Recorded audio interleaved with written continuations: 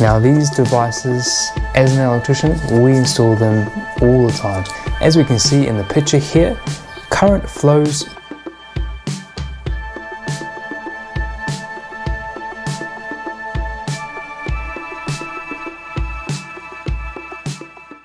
Welcome to the Wiring Hub. Today we have an interesting video. So we've heard of RCDs, but have you heard of the RCBO?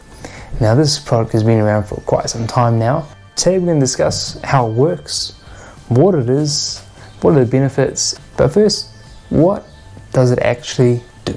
I have one here with me now. Now these devices, as an electrician, we install them all the time, RCBOs. It's probably one of the most common devices we do install in people's homes. Now, the RCBO combines two important functions. It includes the residual current protection and it also includes the overcurrent protection.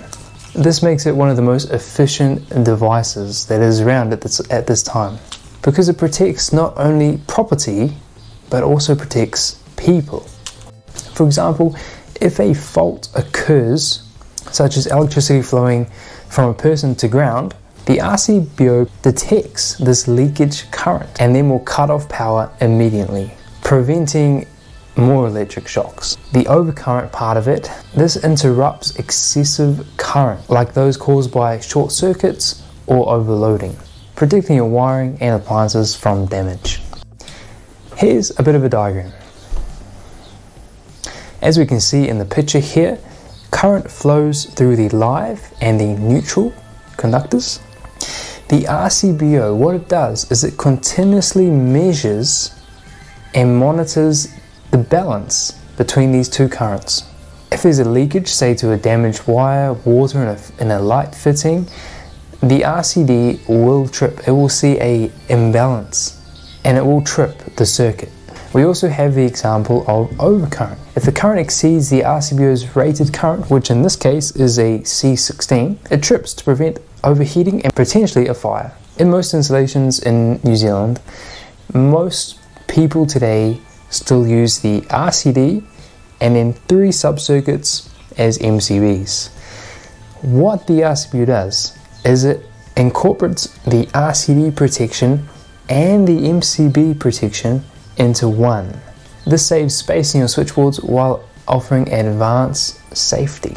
They are a small device, but they give you peace of mind, they save space in your switchboard, and they protect what matters most. They will eventually become mandatory to use in New Zealand.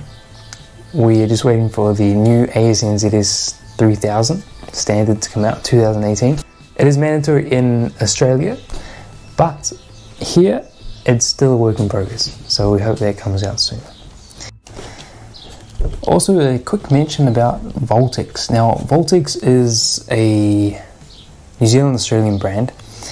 What I love most about Voltex is that they have a warranty lifetime guarantee on their product. Now, this is one of their RCBOs that I was demonstrating before.